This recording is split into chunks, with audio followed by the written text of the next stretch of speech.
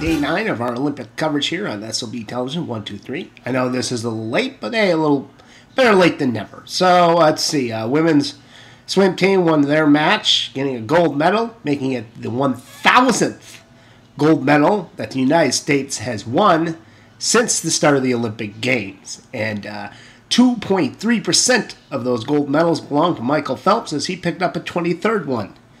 Uh, Madeline Call, uh, Cohen, uh, coach, I'm not sure how her last name is pronounced. She hit the uh, even bars today, got the silver. A lot of people think she got robbed. But who did get robbed?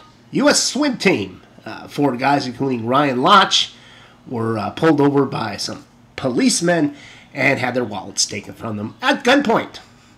And that's it for our Olympic coverage today.